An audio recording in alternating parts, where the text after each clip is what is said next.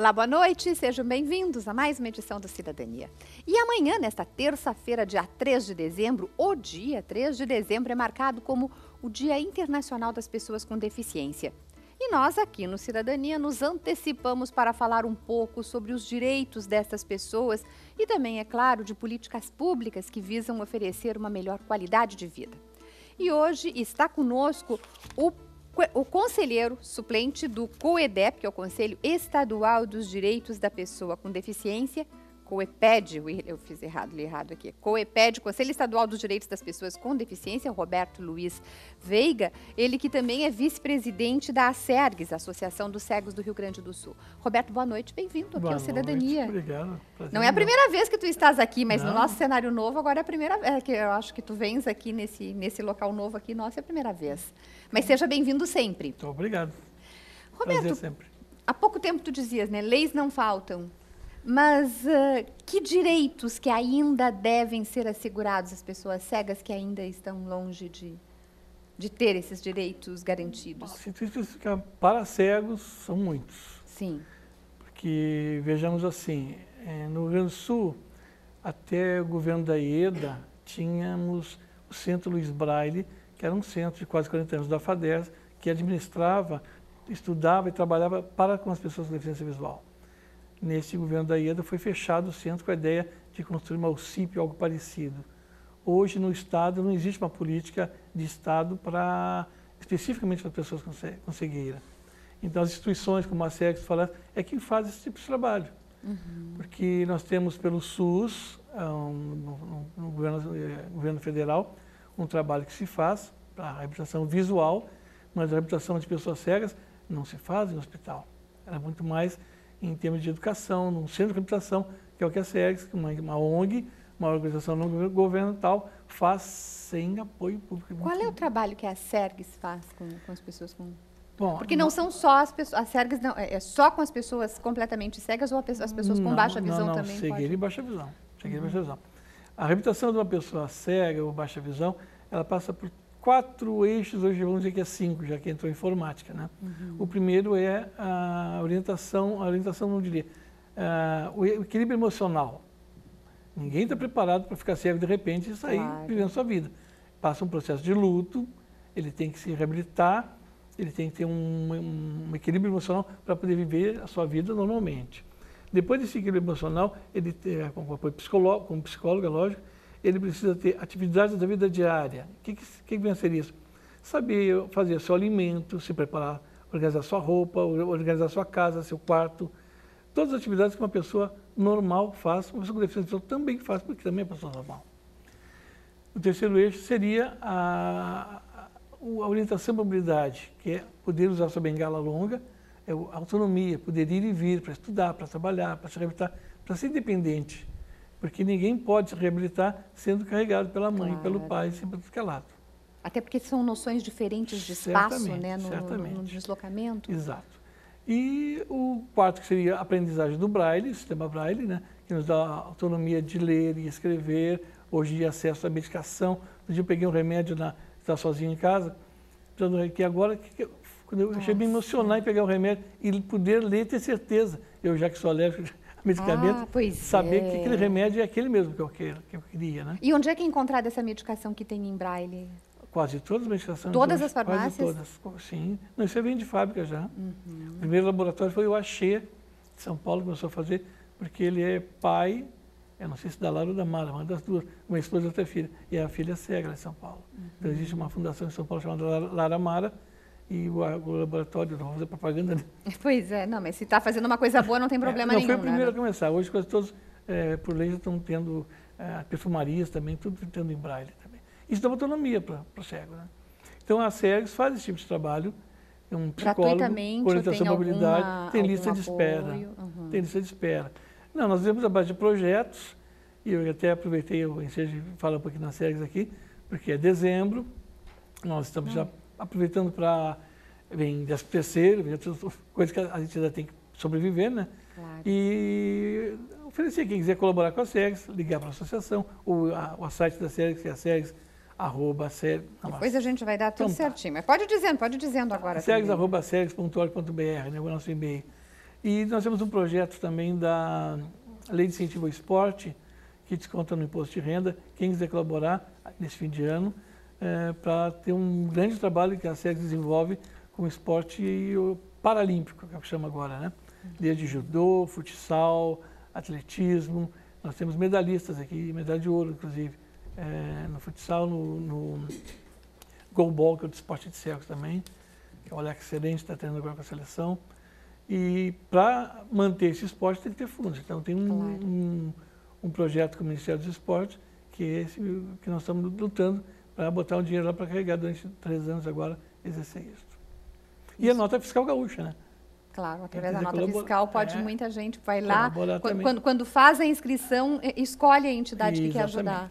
Na área da ciência social, a SERGS, a sala como a Associação de Cegos do Rio Grande do Sul. Olha a só. Cegos. Olha só. E assim, ó, eu não sei se isso só, se a SERGS também realiza, mas hoje existe um problema. Muitas pessoas diabéticas estão, têm um problema de visão mais tardia, né? Assim como as pessoas em geral, mas pode ter um, um, um problema de visão assim com mais, uh, mais, uh, mais acentuado. Sim. Uh, Na né? fase adulta. Hã? Na, fase, na fase adulta. adulta. e muitas vezes até mais na fase com mais idade, né? A SERGS também a, a, atende essas pessoas? Nós temos eh, clientes de 85 anos, um psiquiatra cego da diabetes, está aprendendo informática porque ele quer escrever um livro. Olha que bacana! Então a SERGS tem um grande trabalho também que é a empregabilidade, que ela pesquisa emprego de é, mercado de trabalho para pessoa com deficiência visual, né? Para colocar o cego no mercado de trabalho. Damos consultoria nas empresas também para qualificar, para sensibilizar o ambiente e a própria empresa, para desmistificar, que às vezes as pessoas pensam, ah, vem o cego para cá, como é que vamos tratar o cego? Uhum. É difícil. Não sabe muito aqui. bem aonde colocar. O que, é que ele vai fazer? Como é que ele vai fazer? Então, já fica aquela sobreproteção, aquela desconfiança. E o cego hoje, através da informática, com os leitores de tela, faz qualquer serviço. Existem desde... programas muito bacanas, sim, né, sim. Que, que, que, preparam bem. Inclusive, agora já tem um programa que, uma das dificuldades nossas era arquivos PDF em imagem. Uhum. Porque o leitor de tela lê texto, lê doc, lê, lê, letras, né? Mas uma foto não tem como ler. E o PDF imagem também, é, apesar de ter as letras ali, é uma imagem, é uma foto, então ele não lê. Agora, tem, tem programa... audiodescrição? Não, não, tem um programa que consegue converter essa imagem em texto. Ai, que bacana! É uma audiodescrição instantânea. é um recurso que não, não uma imagem, né?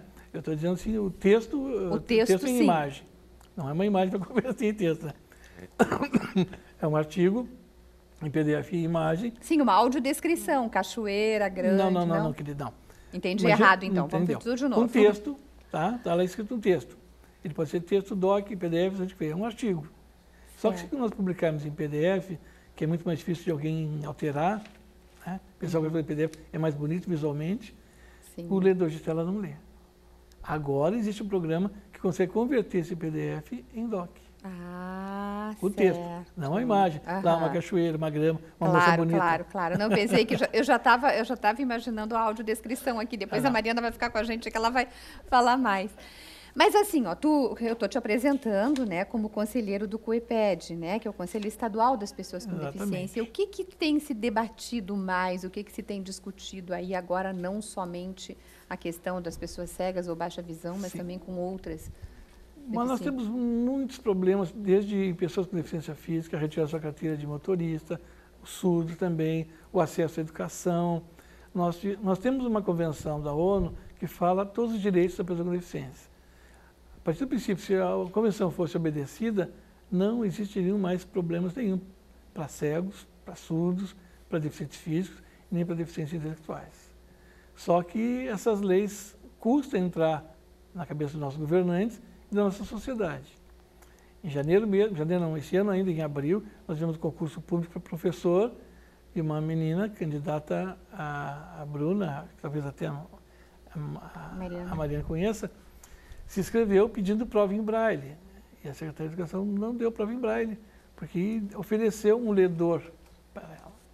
Então, nós olhamos a letra, o pé da, da, da, convenção, que hoje ela faz parte da nossa Constituição, pessoa com deficiência pode pedir a maneira mais apropriada para fazer qualquer que prova. Que ela se sinta melhor, que, que ela melhor. se sinta com, Seja com, ledor, com mais segurança. E ambos, pode pedir até ambos, o ledor de tela e o braille. Porque muitas vezes o cego aprende o braille, mas não tem aquela autonomia. Uhum. Mas ele quer conferir. O ledor, o ledor vai ler para ele e vai conferir com as mãos. Uhum. Né? E o, isso passa pelo conselho, vocês isso debatem passa, um assunto assim? puxamos, batemos, brigamos e estamos lutando por todas as pessoas com deficiência para fazer concurso público. Tanto cegos como surdos, deficientes físicos. É acesso né? à, uhum. à cultura, acesso à educação e acesso ao trabalho. Então, Até porque tem uma lei que, que, que, que, obriga, né, esse, que tenham vagas destinadas às pessoas. Exatamente. Que elas podem utilizar ou não. A, a, mercado, as empresas né, têm que uhum. a, cumprir as, a lei de cotas, né? Isso. Mas a luta para a empregabilidade é muito grande, porque nós temos assim, ó, a empresa diz que não existe pessoas qualificadas para trabalhar. Então, a nossa briga é qualificar as pessoas com deficiência. Então, realmente, tem muitas pessoas com deficiência que não estão qualificadas. E muitos utilizam o BPC, que é o benefício, benefício prestação contínua. Então, eles têm muito receio de perder esse benefício uhum. e muitos não querem. É o dinheiro da família, muitas vezes. Uma renda de família que recebe esse salário mínimo. Se ele for para o mercado de trabalho, ele pode perder. Ele perde. Uhum. Se ele perde e se ele for no, no ele tem menor aprendiz, com deficiente acontece mesmo. Nos primeiros dois anos ele não perde. Ele fica nos dois. Mas, não... mas, hoje em dia, uma lei da Conviver Sem Limite, plano da presidente Dilma, a pessoa com deficiência faz a, a, opção de trabalhar, abre mão do seu BPC.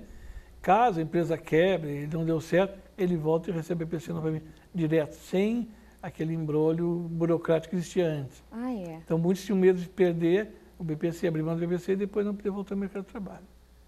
Então, tá é, uma, é uma das leis do Plano Viver Sem Limite, da presidente Dilma, que veio facilitar as pessoas com deficiência que usufruem do BPC. Tá certo. Roberto, a gente ficou conversando até agora só nós dois, mas agora eu vou chamar ah, a colega Mariana. O Roberto certeza. já conversou com a Mariana hoje, um mas a Mariana antes vai nos falar, porque hoje é dia de falar sobre o direito do consumidor e a Mariana vem com as suas dicas nessa área, né, Mariana? Boa noite. Muito boa noite, Helena. Boa noite, Roberto. Boa e noite. boa noite você de casa. Na última sexta-feira aconteceu o Black Friday, que é uma data tipicamente americana, mas que já veio aqui para o Brasil e as lojas, o comércio, eles trazem descontos em diversas áreas. As lojas ficam todas aí em promoções e a população tenta aproveitar esses descontos todos aí às vésperas do Natal, final de ano. O Procon de todos os estados do Brasil, ele realizou diversas fiscalizações para ver se os descontos do Black Friday estavam realmente sendo cumpridos, se eles existiam, se não estava havendo propaganda abusiva, todo, se o Código de Defesa do Consumidor estava sendo cumprido. E foram encontrados diversos problemas, desde supermercados, lojas de artigos esportivos, enfim, em diversas áreas foram encontrados problemas. Por exemplo, um dos principais problemas foi o anúncio de, de descontos por um valor e, na verdade, a pessoa ia lá na loja comprar e o preço que estava sendo praticado era outro. Por exemplo, uma loja uh, que vendia artigos eletrônicos foi vender um pendrive e anunciou que o preço de R$ 29,00 estaria por R$ 21,00. E os técnicos do Procon verificaram que, na verdade, o preço do pendrive antes do anúncio já era de R$ 25,00, ou seja, o desconto era muito menor do que o valor anunciado. O mesmo aconteceu no caso de smartphones. Eles eh, foram anunciados por R$ 249,00 e o valor praticado na loja estava sendo vendido por R$ 299,00, ou seja, um valor bem mais alto. E uh, em outra loja de departamento, 30 consumidores foram lesados na compra de tablets. Eles compraram os tablets, mas a loja não, não tinha mais o produto em estoque. Então, os consumidores foram lá buscar o produto e ele não existia, ela não tinha como fornecer o produto. Então, os consumidores foram uh, orientados a buscar o produto em outra filial da mesma loja e ainda assim não conseguiram reaver o produto e o PROCON autuou. Então, se você teve algum tipo de problema com o Black Friday, com outra compra que você tenha feito aí ao longo dos últimos, dos últimos meses ou, ou durante essa semana, você entra em contato com o PROCON, que eles estão sempre orientando, autuando as lojas que não estão cumprindo as leis, né, e sempre ao lado do consumidor. Então, o site do PROCON aqui do estado é o www.procon.rs.gov.br. Fica fica a sugestão aí, jamais deixar ah, esses problemas passarem, sempre buscar os seus direitos. Tá certo, falou e disse muito bem. Obrigada. Tá bom, agora a gente faz um breve intervalo e já voltamos.